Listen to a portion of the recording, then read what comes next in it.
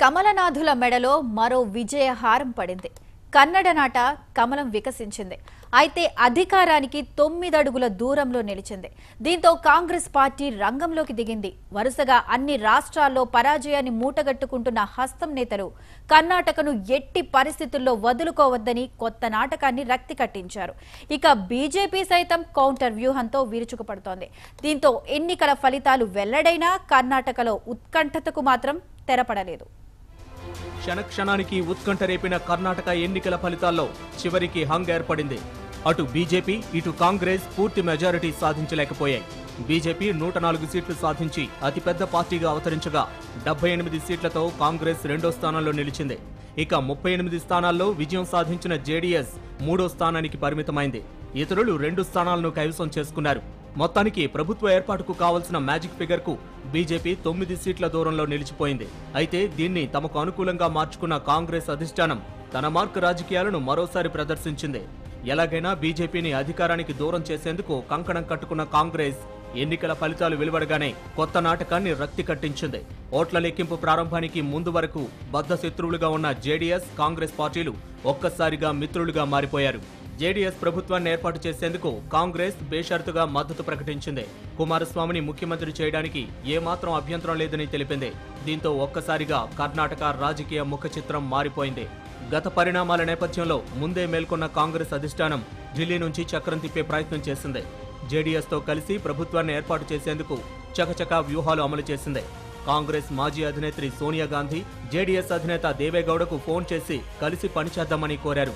అటు కాంగ్రెస్ సీనియర్ నేతలు గులాం నబీ ఆజాద్ అశోక్ గెహ్లాట్ సిద్ధరామయ్య బెంగళూరులో మంత్రాంగం నడిపారు. జేడీఎస్ ముఖ్యమంత్రి అభ్యర్థి కుమారస్వామితో సమాలోచనలు జరిపి పొత్తుకు సై అనుకున్నారు. అయితే మొదట ప్రభుత్వ ఏర్పాటుకు ఆహ్వానించాలంటూ గవర్నర్ను కలవడానికి వెళ్ళిన కాంగ్రెస్ నేతలకు చొక్కెదురైంది. గవర్నర్ వాజుభాయ్ వాలా అపాయింట్మెంట్ ఇచ్చేందుకు నిరాకరించారు.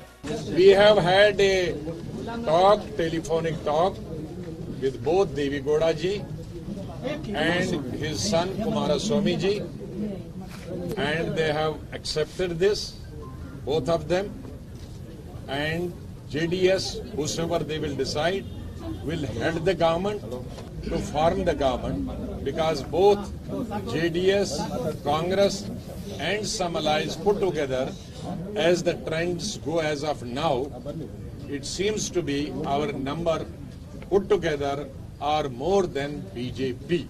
ఇక కర్ణాటకలో బీజేపీ అతిపెద్ద పార్టీగా అవతరించిందని కాబట్టి తమకే ప్రభుత్వ ఏర్పాటు చేసే హక్కు ఉందని ఆ పార్టీ ముఖ్యమంత్రి అభ్యర్థి యడ్యూరప్ప అన్నారు కన్నడ ప్రజల వ్యతిరేకతకు గురైన కాంగ్రెస్కు ప్రభుత్వాన్ని ఏర్పాటు చేసే నైతిక హక్కు లేదన్నారు సిద్ధరామయ్య హయాంలోని కాంగ్రెస్ సర్కార్ను ప్రజలు వ్యతిరేకించారని ఇలాంటి పరిస్థితుల్లో ఎలాగైనా అధికార పీఠాన్ని కైవసం చేసుకునేందుకు అడ్డదారులకు తెరతీస్తోందని దుయ్యబట్టారు ಸಿದ್ದರಾಮಯ್ಯನವರ ನೇತೃತ್ವದ ಕಾಂಗ್ರೆಸ್ ಸರ್ಕಾರವನ್ನ ಸಂಪೂರ್ಣವಾಗಿ ತಿರಸ್ಕರಿಸಿದ್ದಾರೆ ಕಳೆದ ಐದು ವರ್ಷದ ಕಾಂಗ್ರೆಸ್ ದುರಾಡಳಿತವನ್ನ ಕಿತ್ತೆಸೆದಿದ್ದಾರೆ ಸಿದ್ದರಾಮಯ್ಯನವರು ತಮ್ಮ ಸ್ವಂತ ಕ್ಷೇತ್ರ ಚಾಮುಂಡೇಶ್ವರಿಯಲ್ಲಿ ದಯನೀಯ ಸೋಲನ್ನು ಅನುಭವಿಸಿದ್ದಾರೆ.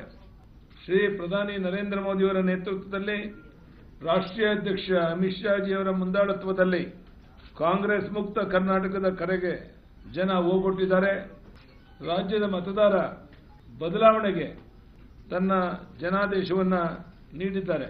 ವಾಮ ಮಾರ್ಗದ ಕುತಂತ್ರಗಳನ್ನು ಮಾಡುತ್ತಿರುವುದನ್ನು ತೀವ್ರವಾಗಿ ನಾವು ಕಾ- ಖಂಡಿಸ್ತೇವೆ ಕಾಂಗ್ರೆಸ್ ಅನ್ನ ರಾಷ್ಟ್ರೀಯ ನಾಯಕರ ಜೊತೆ ಸಮಾಲೋಚನೆ ಮಾಡಿ ನಮ್ಮ ಮುಂದಿನ ನಿಲುವೇನಿರಬೇಕು ಅನ್ನೋದನ್ನ ತೀರ್ಮಾನ ಮಾಡೋರಿದ್ದೇವೆ ఓవైపు అధికారం కోసం కాంగ్రెస్ జేడీఎస్ ప్రయత్నాలు ప్రారంభించగానే వెంటనే బీజేపీ అధిష్టానం అప్రమత్తమైంది హుటాహుటిన జేపీ నడ్డా ప్రకాష్ జవదేకర్లను బెంగళూరుకు పంపి కౌంటర్ వ్యూహాన్ని సిద్ధం చేసింది జేడీఎస్ లో ఎప్పటినుంచో అసంతృప్తితో ఉన్న దేవేగౌడ పెద్ద కొడుకు రేవణ్ణకు గాలం వేసింది రేవణ్ణకు డిప్యూటీ సీఎం పదవిని ఆఫర్ చేయడమే కాకుండా పలు మంత్రి పదవులను కూడా కేటాయిస్తామని హామీ ఇచ్చినట్టు సమాచారం.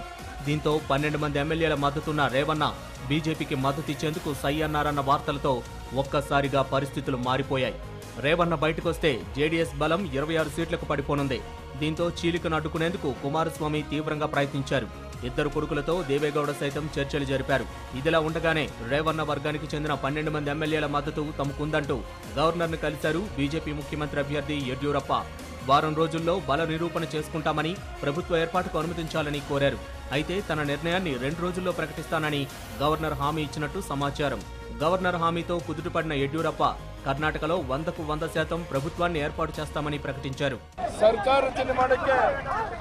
ಅವಕಾಶ ಮಾಡಿಕೊಡ್ಬೇಕು ಅಂತ ವಿನಂತಿ ಮಾಡಿದ್ದೇವೆ just now we met governor Anant Kumar myself and all our leaders and because you have got single largest party and he allows to prove our majority in the assembly so we have in the representation Take proper decision ನಾನು ಆ ಬಗ್ಗೆ ಏನು ಚರ್ಚೆ ಮಾಡೋದಿಲ್ಲ. ನಾವು single largest ಪಾರ್ಟಿಯಾಗಿ ಆಯ್ಕೆಯಾಗಿ ಬಂದಿದ್ದೇವೆ. ವಿಧಾನಸಭೆ ಒಳಗಡೆ ನಮ್ಮ ಬಹುಮತವನ್ನು ಸಾಬೀತು ಮಾಡಕ್ಕೆ ಅವಕಾಶ ಮಾಡಿಕೊಡ್ಬೇಕು ಅಂತ ವಿನಂತಿ ಮಾಡಿ ಬಂದಿದ್ದೇವೆ ಅದು ಅವ್ರಿಗೆ ಬಿಟ್ಟಂತದ್ದು ಗವರ್ನರ್ಗೆ ನಾವಂತೂ ಸರ್ಕಾರ ರಚನೆ ಮಾಡಕ್ಕೆ ಕ್ಲೈಮ್ ಮಾಡಿ ಬಂದಿದ್ದೇವೆ ನಮಗೆ ವಿಧಾನಸಭೆಯಲ್ಲಿ ನಮ್ಮ ಬಹುಮತವನ್ನು ಪ್ರೂವ್ ಮಾಡ್ತೇವೆ ಅವಕಾಶ ಮಾಡಿಕೊಡಿ ಅಂತ ವಿನಂತಿ ಮಾಡಿದ್ದೇವೆ మరోవైపు జేడీఎస్ కూడా తన ప్రయత్నాలను ముమ్మరం చేసింది కర్ణాటక తాజా మాజీ సీఎం సిద్ధరామయ్య కేపీసీసీ అధ్యక్షుడు పరమేశ్వర కాంగ్రెస్ సీనియర్ నేతలు ఆజాద్ మల్లికార్జున ఖర్గేలు వెంటరాగా గవర్నర్ను కలిశారు జేడీఎస్ ముఖ్యమంత్రి అభ్యర్థి కుమారస్వామి సంఖ్యాబలం ఆధారంగా ప్రభుత్వ ఏర్పాటుకు తమకు మద్దతివ్వాలని కోరారు జేడీఎస్ కు కాంగ్రెస్ మద్దతిస్తున్న విషయాన్ని గవర్నర్కు రాతపూర్వకంగా విన్నవించారు ನಾವು ಮಾನ್ಯ ಗೌರವಾನ್ವಿತ ರಾಜ್ಯಪಾಲರಿಗೆ ಪತ್ರವನ್ನ ಕೊಟ್ಟಿದ್ದೇವೆ ಅದೇ ರೀತಿ ಹಿರಿಯರು ಮತ್ತು ಜನತಾದಳದ ರಾಷ್ಟ್ರೀಯ ಅಧ್ಯಕ್ಷರಾಗಿರ್ತಕ್ಕಂಥ ಸನ್ಮಾನ್ಯ ದೇವೇಗೌಡರವರಿಗೂ ಕೂಡ ನಮ್ಮ ತೀರ್ಮಾನವನ್ನ ಲಿಖಿತ ಮೂಲಕ ಅವರಿಗೆ ತಿಳಿಸಿದ್ದೇವೆ. ಅದೇ ರೀತಿ ಇವತ್ತು ಜೆ ಡಿ ಎಸ್ನ ರಾಜ್ಯಾಧ್ಯಕ್ಷರಾಗಿರ್ತಕ್ಕಂಥ ಮಾನ್ಯ ಕುಮಾರಸ್ವಾಮಿ ಅವರು ಮತ್ತು ನಮ್ಮ ಪಕ್ಷದ ಮುಖ್ಯಮಂತ್ರಿಗಳು ಮತ್ತು ನಮ್ಮೆಲ್ಲ ಮುಖಂಡರು ಕೂಡ, ಅವರ ಪಕ್ಷದ ಮುಖಂಡರು ಕೂಡ ರಾಜ್ಯಪಾಲರನ್ನ ಭೇಟಿ ಮಾಡಿ ಅವರಿಗೆ ಪತ್ರಗಳನ್ನು ಕೊಟ್ಟಿದ್ದೇವೆ. ಇನ್ನು ರಾಜ್ಯಪಾಲರು ತೀರ್ಮಾನ ಮಾಡಬೇಕು. ಅವರು ತೀರ್ಮಾನ ಮಾಡಿದ ನಂತರ ಮುಂದೆ ಈ ಪ್ರೋಸೆಸ್ ಮುಂದುವರಿಯುತ್ತೆ. A C All India Congress party a decision. ಅಖಿಲ ಭಾರತ ಕಾಂಗ್ರೆಸ್ ಪಕ್ಷ ಜೆಡಿಎಸ್ ಪಕ್ಷವನ್ನ ಸರ್ಕಾರ ರಚನೆ ಮಾಡಲಿಕ್ಕೆ ಬೆಂಬಲ ಕೊಡಲು ತೀರ್ಮಾನ ಮಾಡ, ಮಾಡಿದೆ. మొత్తానికి హంగ్ నేపథ్యంలో ప్రభుత్వ ఏర్పాటుకు ఎవరిని ఆహ్వానించాలనే దానిపై కర్ణాటక గవర్నర్ వజూభాయ్ రూడాభాయ్ వాలా నిర్ణయం కీలకంగా మారింది. అతిపెద్ద పార్టీని పిలవాలా గ్రూపును పిలవాలా అనే మీమాంసలో ఉన్నారు గవర్నర్. సాధారణంగా అతిపెద్ద పార్టీని ప్రభుత్వ ఏర్పాటుకు ఆహ్వానించడం రివాజుగా వస్తోంది. ఈ క్రమంలో యడ్యూరప్పను ప్రభుత్వ ఏర్పాటుకు ఆహ్వానించే అవకాశాలే ప్రస్తుతానికి ఎక్కువగా కనబడుతున్నాయి.